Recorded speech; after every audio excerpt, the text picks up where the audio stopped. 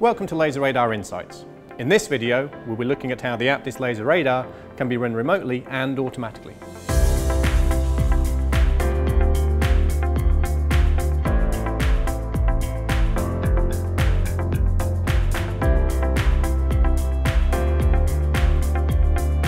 As the APDIS Laser Radar does not need probes or reflectors, measurements can be set up and run purely from the computer without needing to go near the part being measured. A couple of things help with that. Firstly, within the system there is a high definition camera that is positioned to see what the laser is pointing at. Secondly, there is a visible red laser. This has nothing to do with the measurements themselves as these are performed with an infrared laser, but it does allow the user to see where the beam is pointing on the physical part. Moving the beam around the part is as simple as either clicking in the video window or using the arrow keys to point the beam where you want to measure, then focusing the beam.